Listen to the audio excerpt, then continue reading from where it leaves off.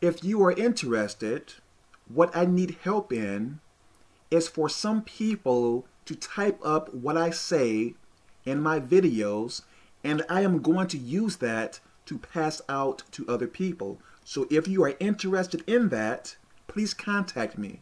God bless you. I believe I have been telling you all that you are going to reap whatever you sow. So let me tell you a story. I believe back in 2006, I went to the store on a certain day and I went down a certain aisle and I saw a bunch of 20s on the ground.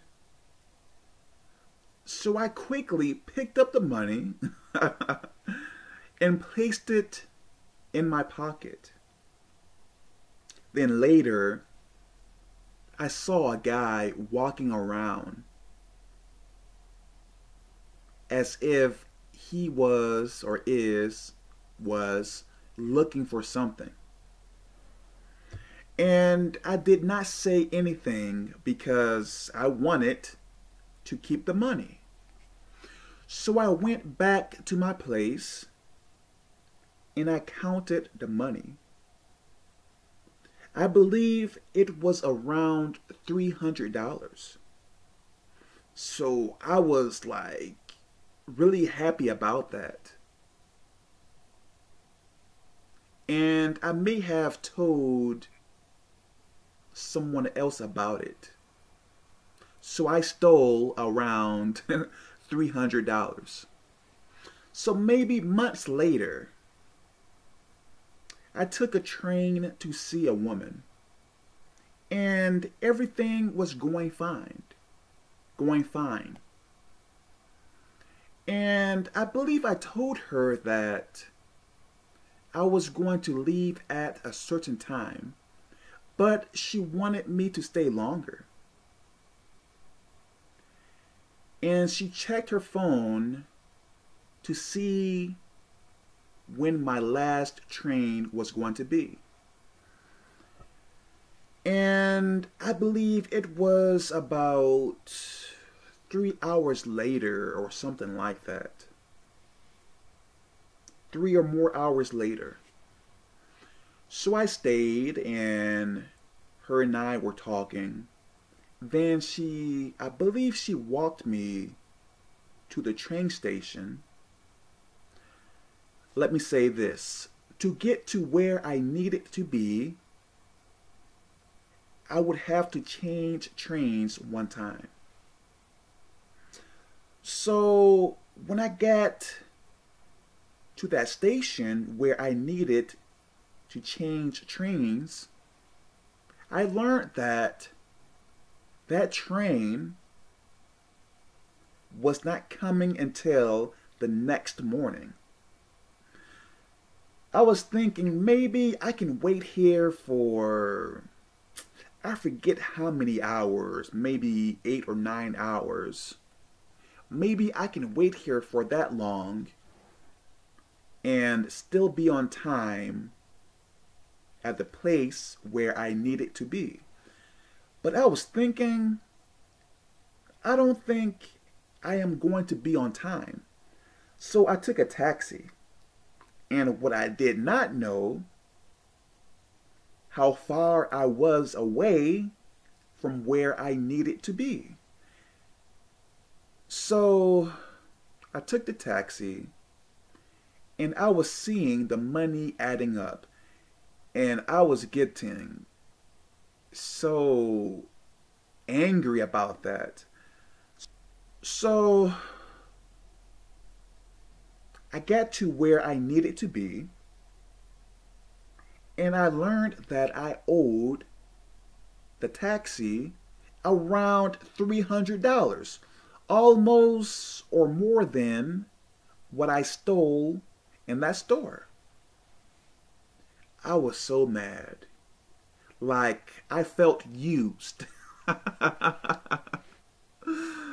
and I paid it, but I was so mad. So I went to see that woman again.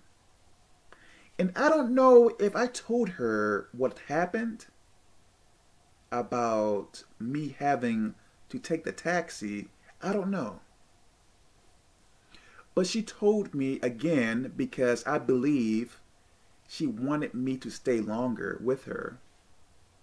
She told me the last train. And the same thing happened twice. Again. I was so mad.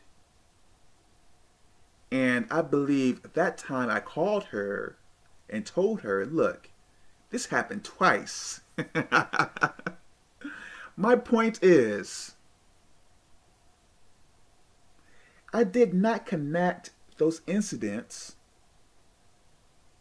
with what I stole. You are going to reap what you sow.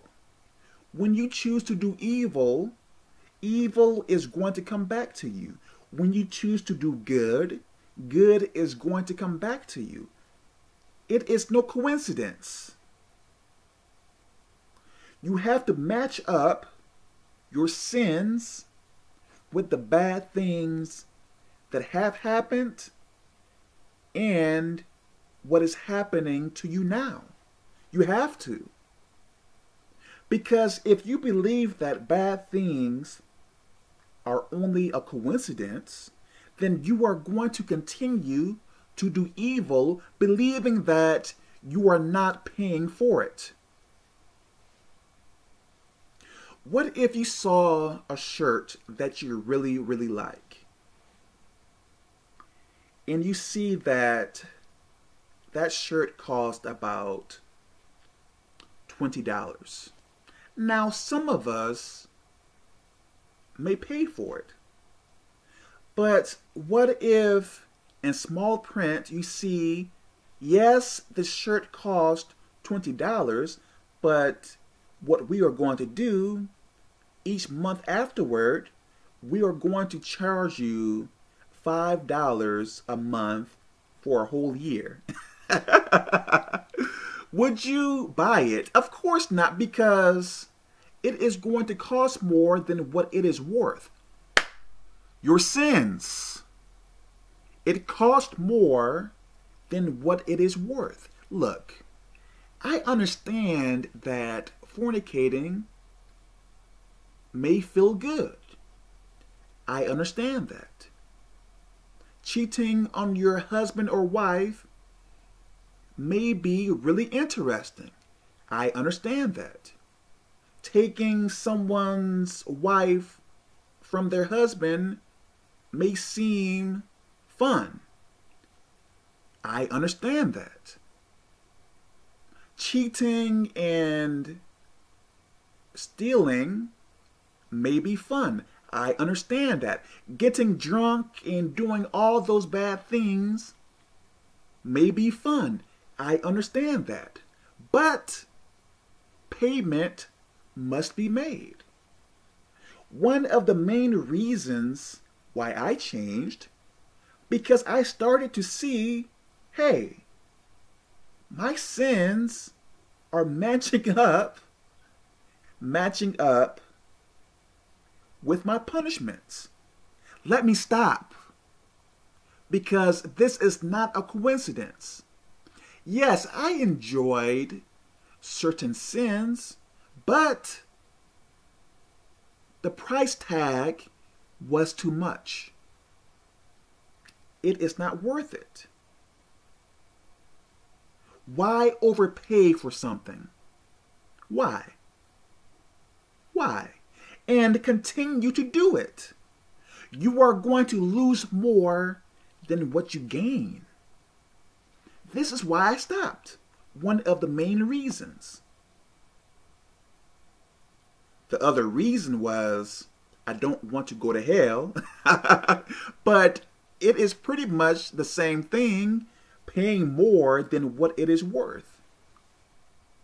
It is not worth it.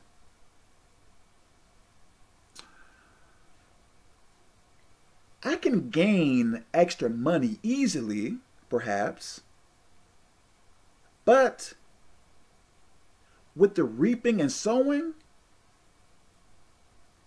I would be overpaying. I can do other things to advance higher, but if it is wrong, I am going to have to pay for it. So let me stay away from it because it is not worth it. Taking that money on that floor was not worth it. I may have overpaid because of that sin.